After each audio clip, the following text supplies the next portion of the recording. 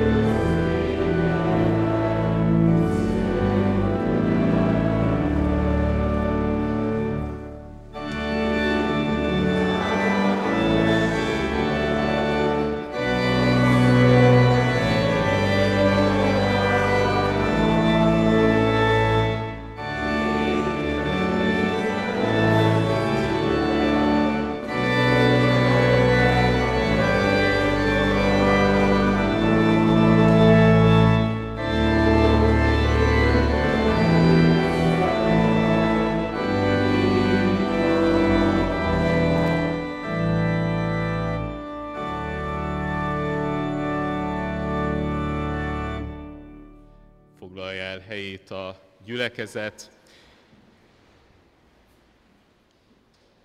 Azt gondolom, hogy nagy ajándék, hogyha Isten után sóvárog a mi szívünk, és a szívünk legnagyobb vágyai közé tartozhat az, hogy az ő házában legyünk, hogy vele találkozzunk, és az ő nevét dicsérjük hétről hétre, alkalomról alkalomra. Erről a vágyakozásról szól a 84. Zsoltár, amelyet énekeljünk el mind a hat versével. Ó, sedegeknek Istene, mely kedves gyönyörűsége a te szerelmes hajlékidnak.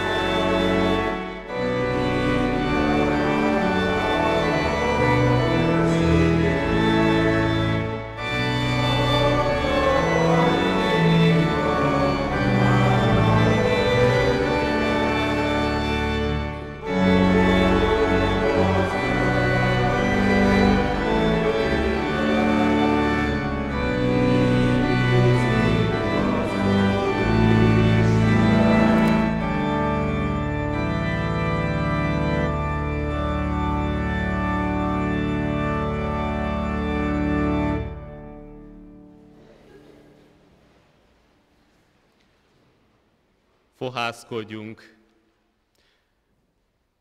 Ami segítségünk, Isten tiszteletünk megszentelése és megáldása jöjjön Istentől, ami mennyei atyánktól, és az ő mi érettünk megszületett, meghalt és feltámadott Szent Fiától, Jézus Krisztustól, a Szentlélek ereje által. Kegyelem, irgalmasság és békesség adassék nékünk bőségesen, Istentől, ami mennyei atyánktól, és az ő szent fiától, az Úr Jézus Krisztustól. Amen. Isten igéjét olvasom Máté evangéliumának a 15. részéből, a 15. rész első 20 verséből. E hosszabb ige szakaszt a gyülekezet leülve hallgassa meg. Máté evangéliumának 15. részéből, az első 20 versből így szól hozzánk Isten üzenete. Akkor farizeusok és írástudók mentek Jeruzsálemből Jézushoz, és ezt mondták. Miért szegik meg tanítványaid a vének hagyományát? Mikor ugyanis étkeznek, nem mossák meg a kezüket. Ő így válaszolt nekik.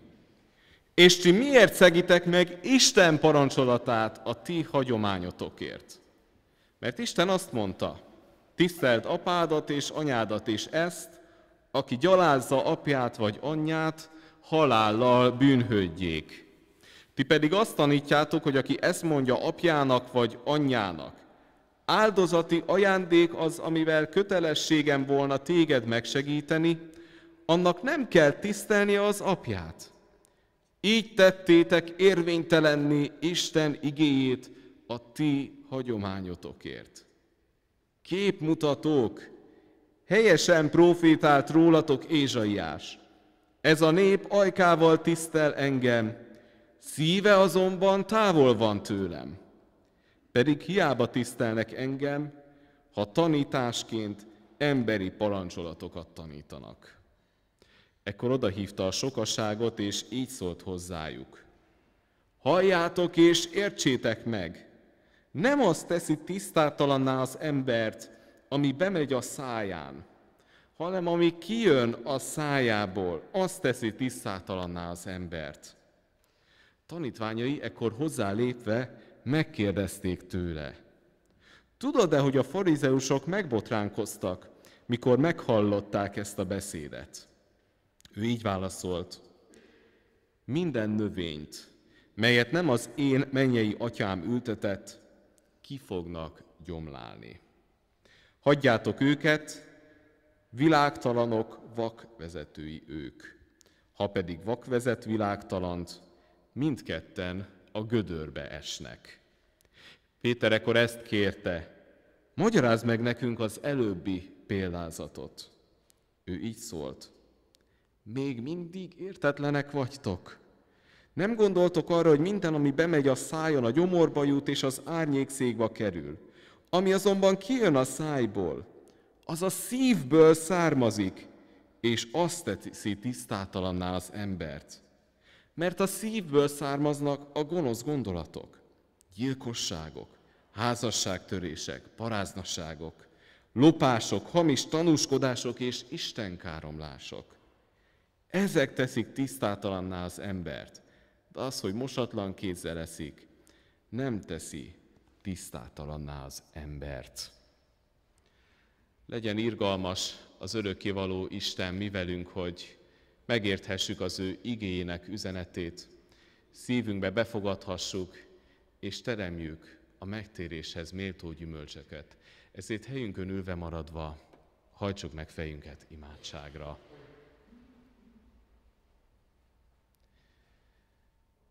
Urunk, olyan keményen tudnak csengeni a szavaid, és magunkba nézve megrettenünk, hogyha igazán végig gondoljuk a szívünk gondolatait, a szavainkat, a tetteinket, és végig gondoljuk azt, hogy mi lenne a mi küldetésünk keresztény emberként. Mégis van bennünk egy sóvárgás, az a sóvárgás, ami a Zsoltárost is dalra fakasztotta, amikor imádságában megfogalmazta, hogy mi vágyunk a Te közelségedbe, vágyunk a Te oltalmadba, vágyunk a Te gyógyító valóságod megtapasztalására. Várunk, vágyunk a Te szabadításod erejének megtapasztalására. Vágyunk arra, hogy megtaláljuk azt az utat, amely Te hozzád visz közel.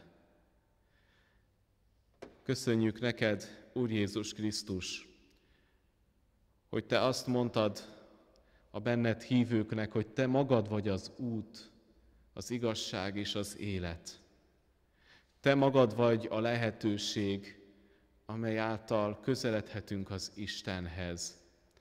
Te magad vagy az igazság, amely által megismerhetjük gyarlóságunkat, és azt megvalva megtisztulhatunk abból.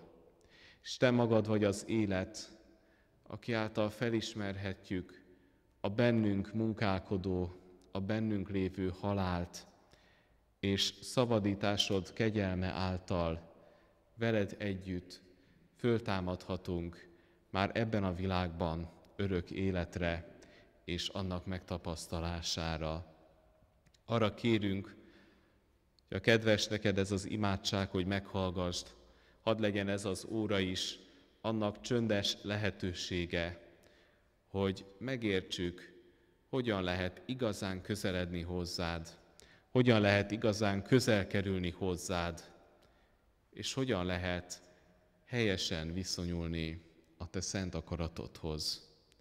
Ezért kérjük, hogy taníts bennünket ígéd által, küld el a te szent lelkedet, szenteld meg a mi szívünket, és áld meg a mi Isten tiszteletünket. Ámen. Készüljünk az ige hallgatására 246. dicséretünk verseinek éneklésével. Adj Úristen nékünk szent lelket!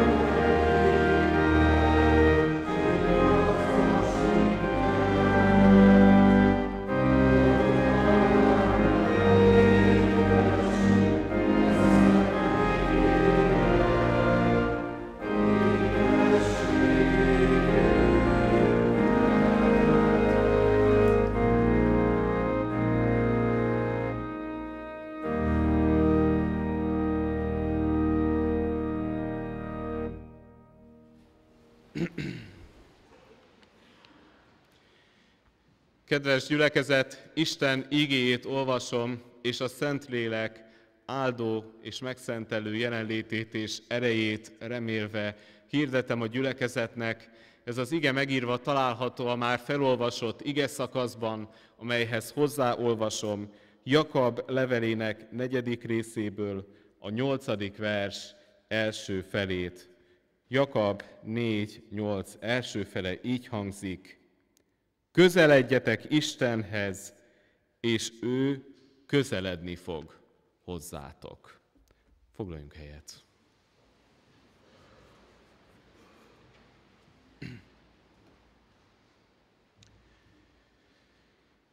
Kedves testvérek, kedves gyülekezet, logikus feladatnak tűnik, hogy bőjt kezdetén a bőjtről gondolkodjunk.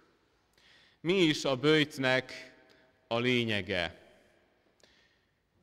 És tulajdonképpen, ha nagyon őszinték akarunk lenni, mi református, protestáns emberek erősen zavarba jövünk, amikor a bőjtről kell gondolkodnunk.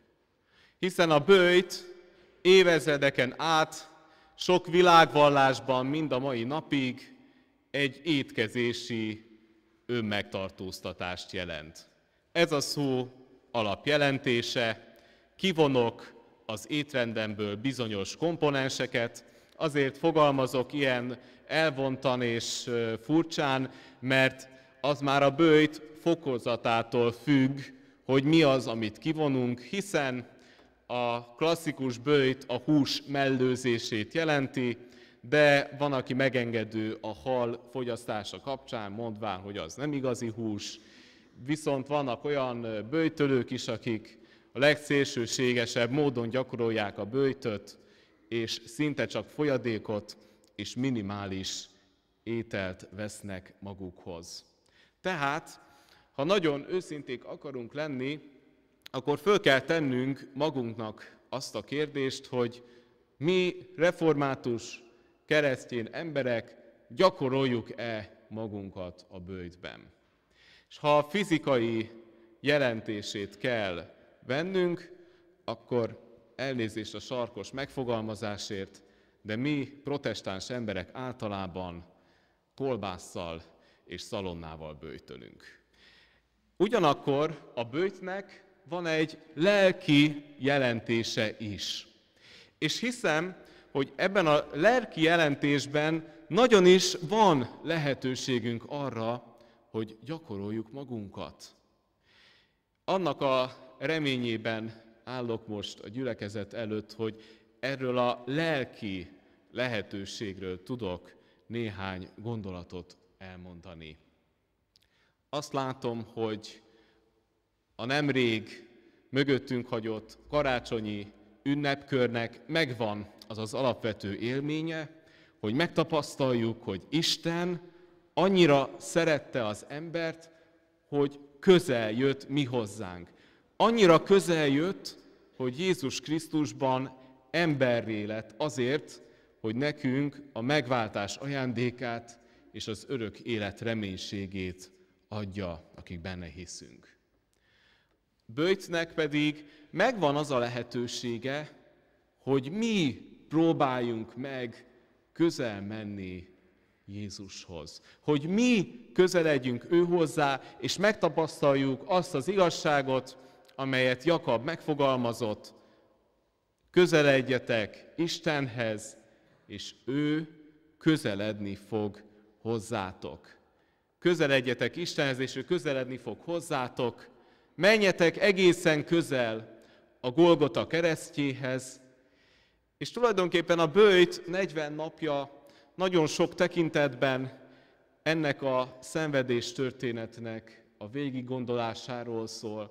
Arról való felkészülésről szól, hogy szembesülnünk kell Jézus Krisztus nagypénteki keresztjével, és bizony a nagypéntek ünnepéhez közeledve szembesülnünk is kell azzal, ismerek olyan nagyon közeli gyülekezeti testvért a munkásságomból, aki elmondta, hogy évről évre szinte kibírhatatlan gyötrelmet jelent neki a nagypénteki istentisztelet, mikor a lelkész felolvassa, mi az, amit Krisztus elszenvedett értünk, hogy mi nekünk megváltásunk lehessen. Rettenetes ezt még hallani is. És bizony én is eljutottam már arra a lelki állapotra, hogy amikor menetrendszerűen egy-egy ünnepen levetítenek egy Jézus életéről szóló filmet, fáj a monitorra nézni, amikor a keresztet látom. Ugyanakkor szükséges az, hogy közeledjünk a kereszthez. Szükséges az, hogy kialakítsunk magunkban egy reális viszonyulást Jézusnak a keresztjéhez. És ezzel kapcsolatban azért van egy nagy élményem, amit a budai irgalmas rendi kórházban éltem át. Ott voltam ötödéves koromban gyakornok, oda mentünk lelki gondozni teológus társaimmal együtt, és ebben a kórházban van egy ökumenikus kápolna. Van ott református, katolikus és evangélikus istentisztelet is, és mindazok a betegek, akik kapnak egy nehéz diagnózist, készülnek egy operációra, egy nehéz vizsgálatra, bemehetnek imádkozni. Mindazok a dolgozók, akikre ráterhelődik a betegek szenvedése, be tudnak menni, és egy kicsit fel tudnak frissülni. És hát mivel ökumenikus kápolnáról van szó, ebben a kápolnában feszület is van, de egy igen különleges megoldásban, ugyanis a kápolna egyik fala szinte teljesen üvegből van, és ebbe az üvegbe van belemarratva a feszület. A fény ebbe a terembe a kereszten át érkezik. És az ember, ahogy vonzódik a fényhez, szinte nem tud más tenni, mint hogy a keresztre nézzen. A keresztfa ragyogása tölti be az ott levőnek a szívét. Mindezeknek a fényében szeretnék néhány gondolatot szólni a gyülekezetnek, a bőjt céljáról, a bőjt lényegéről és a bőjtnek a hasznáról. Jézus a hegyi beszédben tanít a bőjtről, tanít az imádkozásról, és tanít az adakozásról egymás után Máté evangéliumának a hatodik fejezetében. Ezek összetartozó dolgok, ezek azok az alapgyakorlatok, amelyeket egy hívő zsidó mindenképpen gyakorol az ő vallásos életében. Segíti a szegényeket, imádkozik Istenhez, és hálát ad neki, hogy van mie, hogy tud élni, és hogy az ő akarata alá tudja rendezni a sajátját, és bőjtől, amikor az ünnepi rend ennek az idejét és ennek a módját kijelöli. Mindezeknek pedig az a közös célja, hogy megtanuljunk akár többféle módon is közelebb kerülni Istenhez. Ha ki tudom engedni a kezemből azt a pénzt, amelyet a szegényeknek adok, akkor képes vagyok kiszolgáltatni magamat Isten gondviselésének. Ha feltárom a szívem Isten előtt, ha hozzáemelem a szívemet és elmondom az imádságomat, akkor ez egy olyan bizalmi gesztus, amely közelebb visz Istenhez. A bőjtben pedig egy olyan belső útnak a végigjárását vállalom, ami szintén közelebb visz Istenhez. Azt azért érdekességként hagy mondjam el, hogy az Istenhez való közeledés az az Ószövetségben sok helyen egy költői kép, közeledni Istenhez azt is jelenti az Ószövetség szerint, hogy papi szolgálatot végezni. Amikor a pap magát megszenteli, és az előírások szerint elvégzi a maga feladatát. Olvashatunk erről Mózes második, harmadik és ötödik könyvében is. De mégis mi közünk van mindenhez? Egy fontos dolgot azért el kell, hogy mondjak ezzel kapcsolatban. Mégpedig azt, hogy amikor Isten kijelentette az akaratát arra nézve, hogy hogyan kell a kultuszt gyakorolni, hogyan kell a papi szolgálatot végezni, akkor világossá tette, hogy ezt ő azért tanítja meg a népének, hogy az ő népe az egész világot helyes Isten tiszteletre tanítsa. Ugyanis az ő népe, ha helyesen gyakorolja magát az Isten tiszteletben, akkor az egész világnak példát mutat az Istenhez való helyes viszonyulásra. És bizony ez alól, a felelősség alól mi sem vonhatjuk ki magunkat, hiszen tudjuk, ti pedig választott nemzetség, királyi papság vagytok. Nekünk is feladatunk az, hogy az Istenhez való közeledés helyes módozataira tanítsuk a körülöttünk élőket. Ugyanakkor nagyon fontos cél, hogy a hit ne valamiféle kötelezettség, valamiféle szabálygyűjteménynek a teljesítése legyen, hanem az én szabadságom lehessen. Amikor Jézust megtámadják tulajdonképpen a jeruzsálemi papságnak a képviselői, ez az első alkalom az evangéliumban, hogy a jeruzsálemi papság támadja Jézust, Tudják, hogy Jézus népszerű, az ővele való szembehelyezkedés igen népszerűtlen dolog volna, ezért a tanítványait veszik elő. Igaz, hogy ez egy indirekt támadás a mesterrel szemben, hiszen a tanítványok a mester példáját és életmódját követik, szinte baljós sejtetése ez annak, hogy a papságtól Jeruzsálemben mire számíthat majd Jézus. Mi vár Jézusra, amikor Jeruzsálembe érkezve végre teljességgel szembe találja magát az ottani papsággal? Amit fölvetnek, a kézmosási rítus gyakorlata. Étkezés előtt megmossák a kezüket, ez nem higiéniai szempontokat szolgál ebben a korban, hanem ez egy szertartás. Az a lényege ennek, hogy tisztában vagyok azzal, hogy az az étel, amit elfogyaszthatok, az Istennek az ajándéka, az ő gondviselése, és éppen ezért az étel maga is szent dolog. Ha a kezem tisztátalan, akkor nem helyesen nyúlok a megszentelt ételhez. Ráadásul az asztal társaságot is meg kell tisztelnem azzal, hogy tiszta kézzel ülök asztalhoz, hiszen az étkezés tisztasága csak azzal garantálható, ha minnyájan megmossuk a kezeinket. És amikor egy ilyen rítus közel visz az Istenhez, azt Jézus helyesli.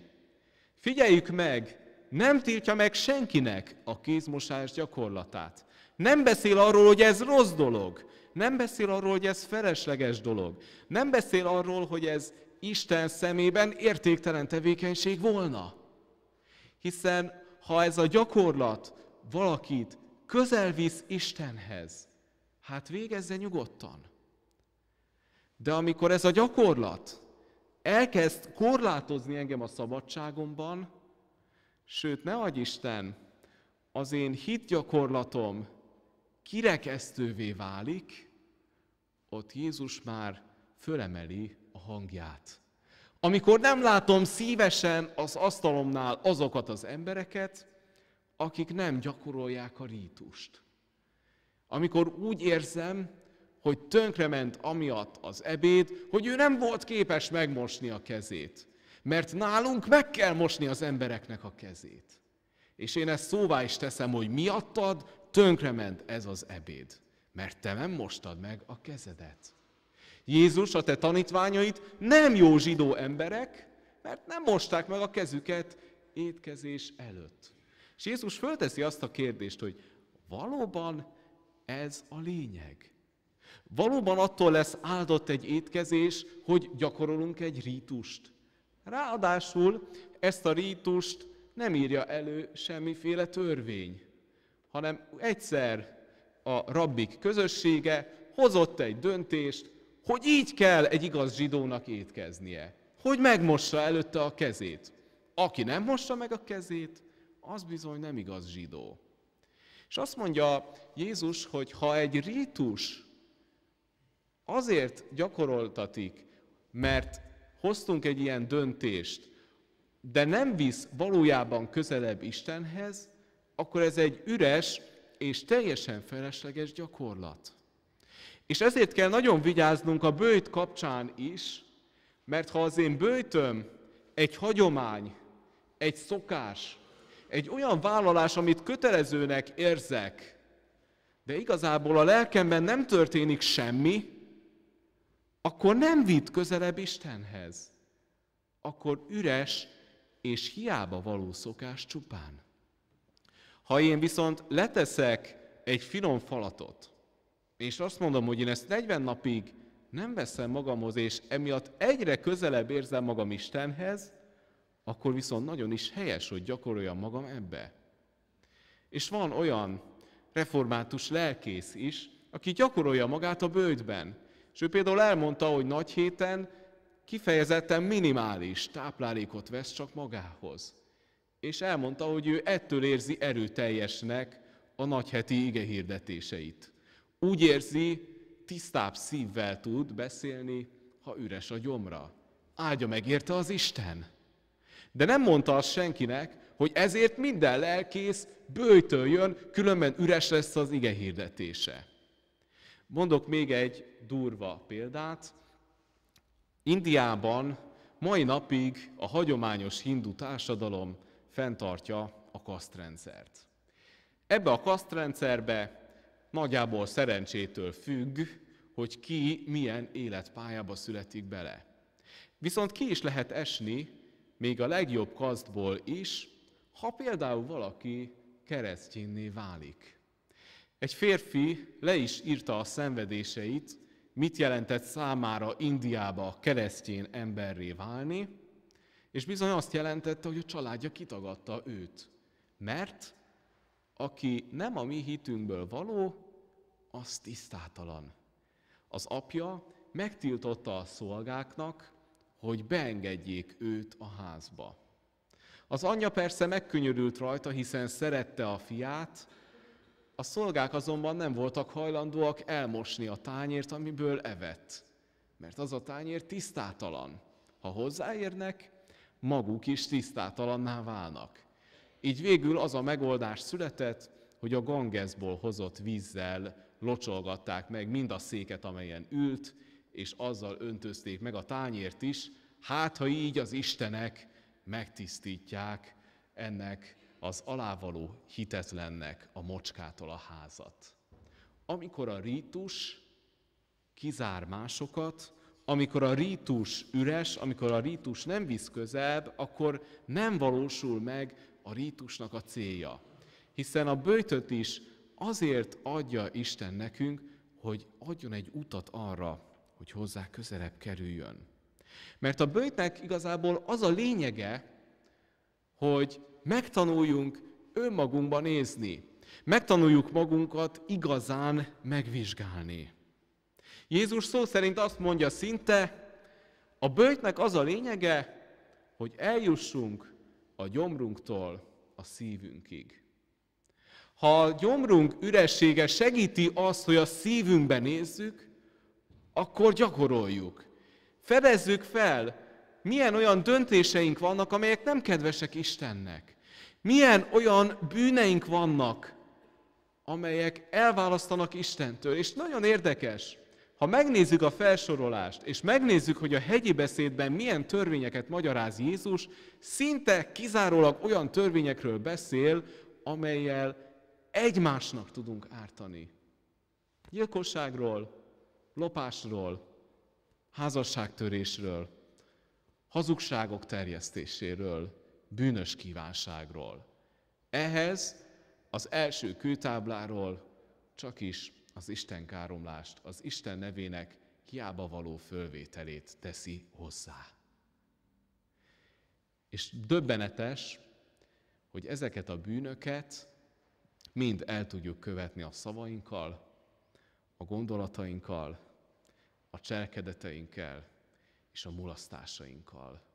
És azt mondja Jézus, hogy arra koncentrálunk, hogy mi megy be a szánkon, és nagyon jó, hogyha ez előre visz bennünket, de ha elvonja a figyelmünket arról, hogy arra is odafigyeljünk, hogy mi jön ki a szánkon, milyen lelkület beszél belőlünk, akkor teljesen hiába való az egész. A törvény tökéletesen alkalmas arra, és a ritus tökéletesen alkalmas arra, hogy önvizsgálatot tartsunk. És a bőjt szembesíthet bennünket azzal, hogy bizony nem tudunk mértéket tartani. Ha belenézünk a törvénybe, mint egy tükörbe, akkor meg tudjuk látni a hibáinkat. És Jézus erre hív bennünket. Hiszen a tükör elé is azért lépünk oda, hogy megvizsgáljunk, hogy mi az, ami hibánzik. Hogy ferde a nyakkendő, hogy nem tökéletes az, az arcunk, és akkor hát megpróbálunk valami válságkezelést alkalmazni, hogy mégiscsak méltóképpen lépjünk az emberek közé. De van egy olyan tükör, ami a szívünkig akar vezetni bennünket. És Jézus keresztje is egy ilyen tükör. És ezzel a kereszttel borzasztó rossz szembenézni. Mert ezen a kereszten milyen embert látunk? A bűnöktől eltorzult embert. A betegségtől szenvedő embert. Az erőtlen embert. Rettenetes rossz dolog szembenézni azzal, hogy mi jóra törekszünk, és vannak alávaló dolgok bennünk. És a tükör kíméletlen és diagnosztizál. Legyen az egy óriási fali tükör, egy arcunk hibáit felmutató, nagyító, borotválkozó tükör, vagy egy egészen icipici tükör, amelyel a fogorvos megtalálja a fogunkban a lyukat. Megmutatja, milyen hibáink vannak, de nem ad megoldást. És a rítus sem ad önmagában megoldást, ha nem jutunk el Jézus keresztjéig. Mert a kereszt az nem csak szembesít önmagunkkal, hanem ott a megoldáshoz is el tudunk jutni. Ugyanis azt mondja, hogy igen, vannak hibáid, igen, vannak bűneid, igen, tudsz megfontolatlan lenni, igen, tudsz elhamarkodottan ítélkezni, igen, tudsz bántóan beszélni, igen, tudsz hazugságokat terjeszteni, igen, tudsz másokra rossz dolgokat mondani, néha persze jókat is, csak azt nem biztos, hogy annyian hallják, mint amikor rosszat mondasz. És igen, nem mindig tudod uralni az indulataidat, nem mindig tudsz tekintettel lenni a másikra. Nem mindig tudsz mértékletes lenni, de nem kell így maradnod. Nem kell így maradnod. Van megoldás. Meg lehet gyógyulni mindezekből. Mert ahogy Pál is írja, Krisztussal együtt meg lehet feszítetni.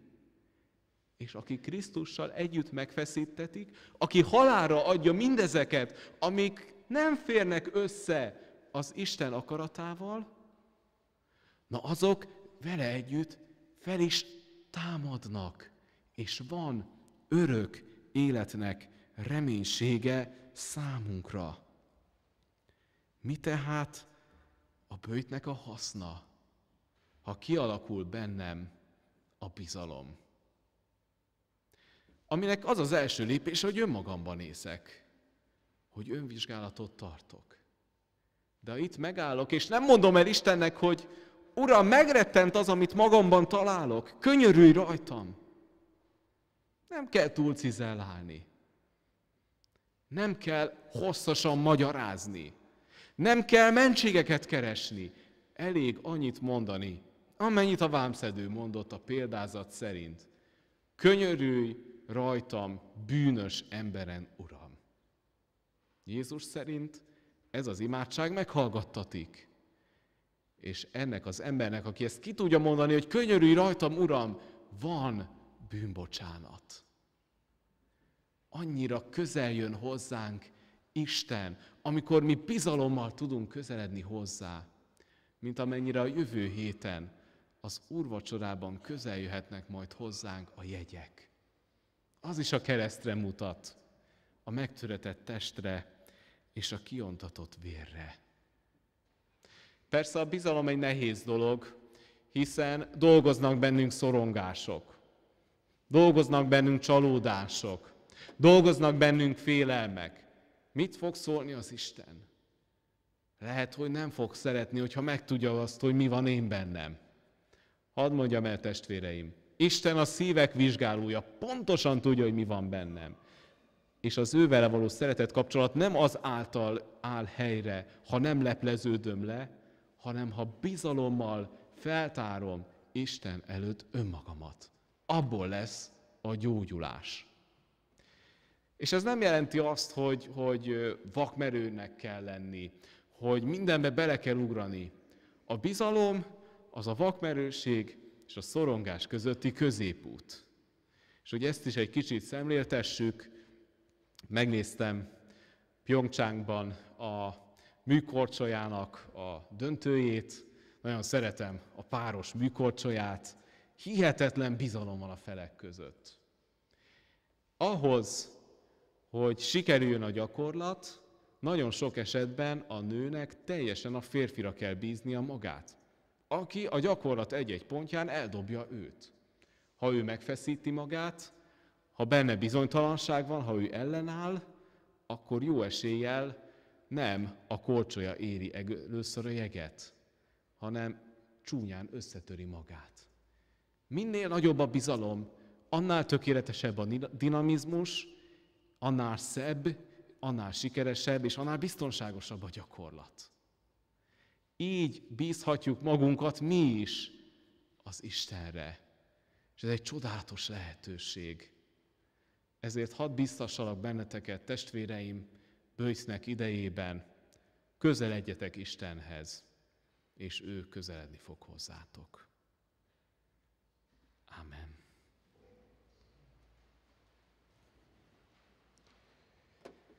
Köszönjük Istenünk, hogy tanít, tanulhatjuk rád bízni magunkat. Tanulhatjuk rád bízni magunkat, amikor olyan dologgal szembesülünk, ami nem szimpatikus mi bennünk. Bűneinkkel, nyomorúságainkkal, megkísérthetőségünkkel, indulatainkkal, haragunkkal, képmutatásunkkal, és mi ezt mind feltárhatjuk előtted, és kérhetünk gyógyulást, és kérhetjük annak a lehetőségét, hogy ne kelljen tisztátalan dolgoknak elhagyni a szánkat, hanem legyen neked szentelt az ajkunk is, amely dicsérhet téged, amely bizonyságot tehet rólad, amely imádkozhat hozzád, amely vigasztalhat másokat, amely bátoríthat másokat, amely gyógyíthat másokat, csak egy egyszerű emberi szó által is. Így kérjük, hogy könyörülj rajtunk, hogy tudjunk megújulni bőjt idejében, és tudjunk Te hozzád közeledni. Tudjunk a sebeinkből gyógyulni. Tudjunk a betegségeinkből gyógyulni. Tudjunk a veszteségeinkkel szembenézni, és vigasztalásra találni az örökkévaló vigasztalónál. Még ha a gyász gyötrő fájdalma is terheli a szívünket. Még ha úgy is érezzük, hogy ebben aztán tényleg nincsen vígasz. Köszönjük, hogy Te ma is gyógyítod az életünket. Köszönjük, ha ma is szembesülhettünk valamivel, ami talán nagyon fáj, de ez a fájdalom bíztathat bennünket arra, hogy kérjünk tőled gyógyulást, hogy elmondjuk, nehéz teher nyomja a szívünket. Hadd könyörögjünk a vámszedő szavával, könyörülj rajtunk bűnös embereken, és könyörülj rajtunk a te bűnös népeden is, amikor nem igazán tudunk tanítani másokat a helyes Isten tiszteletre. Hadd gyógyuljon a mi közösségünk, hadd gyógyuljon az egyházunk abban, amiben gyógyulnia kell. Könyörülj vezetőinken, lelki pásztorainkon, presbitereken, gondnokokon, sok-sok odaszánt életen, akik magukra vállalják a döntés felelősségét. Könyörülj az üldözött keresztényeken, akik ma is bátor bizonyságtétellel vállalják akár a halált is azért, hogy az ő hitüket meg ne tagadják. Légy velünk ebben az időszakban, és a közelségednek ajándékát és örömét tapasztaltasd meg minnyájunknak, minnyájunkkal, hogy tudjunk gyógyulni, újulni, hálás szívvel téged követni, téged magasztalni. Hadd szólítsunk meg téged ezen az órán is a tőled tanult legszentebb imádsággal. Mi atyánk, aki a mennyekben vagy, szenteltessék meg a te neved. Jöjjön el a te országod, legyen meg a te akaratod, amint a mennyben, úgy a földön is. Mindennapi kenyerünket add meg nékünk ma, és bocsásd meg védkeinket, miképpen mi is megbocsátunk az ellenünk védkezőknek. És ne vigy minket kísértésbe, de szabadíts meg a gonosztól, mert tiéd az ország, a hatalom és a dicsőség mindörökké. Amen.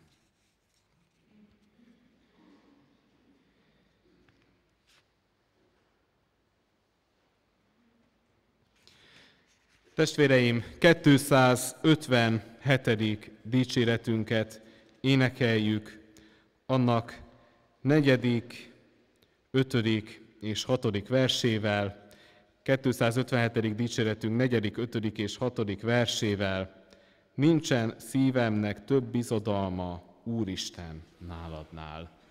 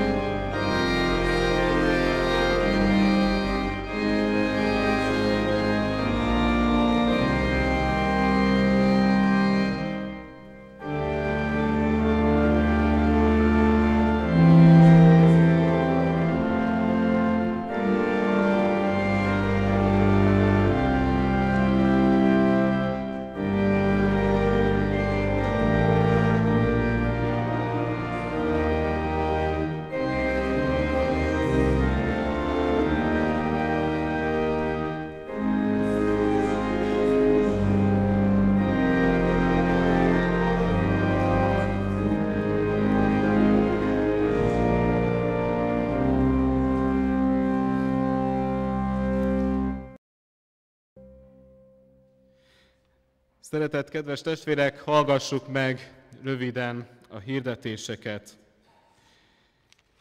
Hirdetem a gyülekezetnek, a gyászolók iránt együttérző szívvel, hogy az elmúlt héten sajnos temetnünk kellett.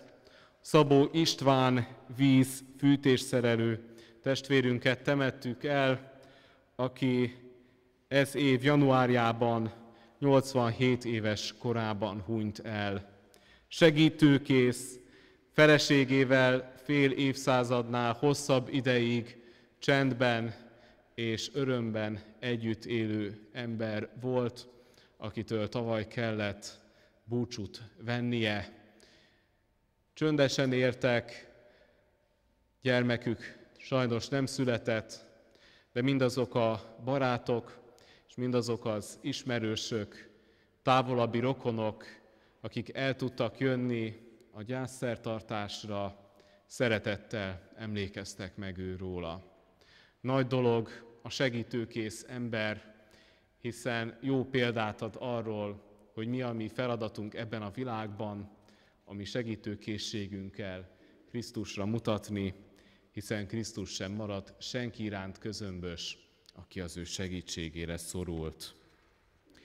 Hirdetem a gyülekezetnek, jövő vasárnap különleges alkalmunk lesz, Bőjt második vasárnapján úrvacsoraosztó istentiszteletet tartunk, és egyben hirdetem, hogy ez lesz az az alkalom, mikor gyülekezetünk megválasztott presbitériuma is fogadalmat fog tenni. Erre hívjuk és várjuk szeretettel a presbiter testvéreket és természetesen az egész gyülekezetet. Ma készítettünk egy jelenléti évet, nem azért, hogy őket ellenőrizzük, hanem hogy tudjuk, hogy ki az, akit értesítenünk kell, mert nem biztos, hogy hallja ezt a hirdetést. Úgyhogy kérjük a presbiter testvéreket, hogy keressék Tolnai Évát, és írják alá ezt az ívet, hogy tudjuk, ki az, aki hallotta ezt a fontos információt. Egyben hirdetem azt is, hogy jövő héten szombaton, február 24-én 5 órától régi új alkalmunk fog indulni, a fiatal felnőttek köre. Várjuk mindazokat a 18. életévüket betöltött embereket, fiatalokat, akik a hitben szeretnének tovább növekedni, szeretnének a kérdéseikre válaszokat találni.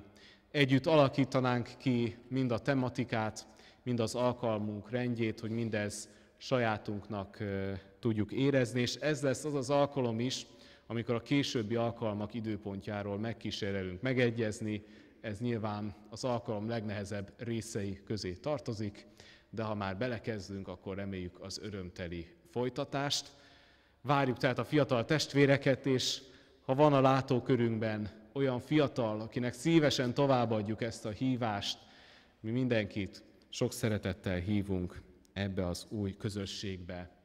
Jövő héten az alkalmainkat szokott rendben megtartjuk, hétfő este 6 órától beszélgetést, bibliaórát, fél nyolctól pedig konfirmációi előkészítőt a felnőtt testvérekkel.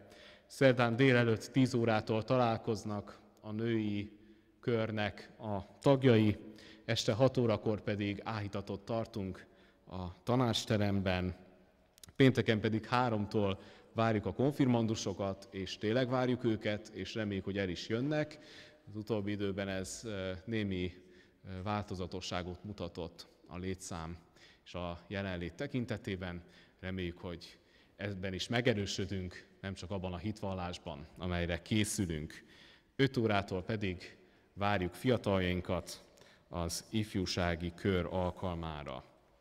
Talán emlékezünk még Radvánszki Ferenc kárpátaljai lelkipásztor szolgálatára, aki három estén keresztül evangelizált közöttünk, és azt is tudni kell, hogy Református Nőszövetségnek van egy kiszolgáltatott református fiatalokat támogató programja, a, amelynek keretében az ő gyülekezetében, Radvánszki Ferenc gyülekezetében is támogatást kapott egy fiatal, ez adományok adása révén lehetséges, és ő kedves köszönő levelet küldött, amelyel szeretettel emlékezik meg erről a három örömteli napról.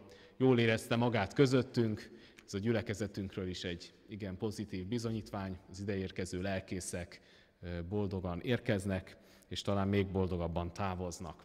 úgyhogy ennek az öröméről tudok beszámolni, és egyben jelzem a gyülekezetnek, hogy lehet továbbra is adakozni ebbe a programba. Ennek a koordinátora Lambert Győzőné, Marika testvérünk, őt keressük, ő felvilágosít, eligazít, és támogat bennünket minden információval, amire szükségünk van. Jelzem azt is, hogy gyülekezetnek eloszlatva minden esetleges félelmet és aggodalmat, hogy lelkipásztorunk, nagy tiszteletű Berkesi Gábor ezen a hétvégén rövid pihenését tölti családja körében, jól van, szeretettel gondol a testvérekre, a mátrai havasok térdig merítő valóságából, és ő nagy szeretettel köszönt minnyájunkat, és természetesen a jövő héten, már a holnapi estében áll a gyülekezet rendelkezésére, kereshetjük őt bátran, Isten áldja meg az ő pihenését. Hordozzuk imádságunkban a gyülekezet ügyét, a jövő vasárnapi presbiteri fogadalmat, és egyben könyörögjünk betegeinkért. Van, aki kórházban fekszik, és az életéért küzd, és olyan testvérünk is van, aki az influenzától hetek óta fekszik. Isten áldja meg a gyülekezetünket, és erősítsen bennünket az erőtlenségeinkben. Isten tiszteletünk záró éneke az áldásvétel előtt a 230. dicséret, ami a keresztfárak a ragyogására irányítja a tekintetünket. Áll a Krisztus szent keresztje, elmúlás és rom felett.